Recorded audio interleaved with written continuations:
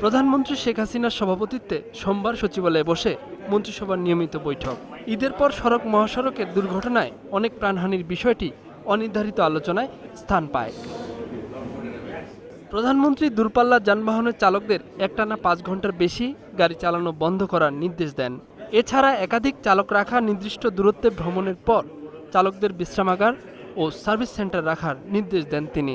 যাত্রী ও চালকদের seat belt বাধা বাধ্যতামূলক করা সহ চালক ও তাদের সহকারীদের প্রশিক্ষণ গ্রহণ নিশ্চিত করার ব্যবস্থা নিতেও বলেন তিনি। পরে বৈঠকে আলোচনার বিষয়বস্তু সাংবাদিকদের অবহিত করেন মন্ত্রিপরিষদ বিভাগের সচিব। লং ডিস্টেন্স ড্রাইভিং যারা করে, ওখানে বিকল্প ড্রাইভারের ব্যবস্থা করা। অর্থাৎ একজন ড্রাইভারের গাড়ি চালানো পাঁচ ঘণ্টার বেশি যেন একটানা না হয়।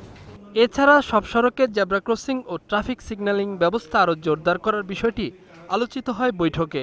এসব বিষয়ে তদারকি জোরদার করতে স্বরাষ্ট্রমন্ত্রী, সড়ক পরিবহন মন্ত্রী ও নৌপরিবহন মন্ত্রীকে নিয়মিত মনিটরিংয়ের দায়িত্ব দেওয়া হয়েছে।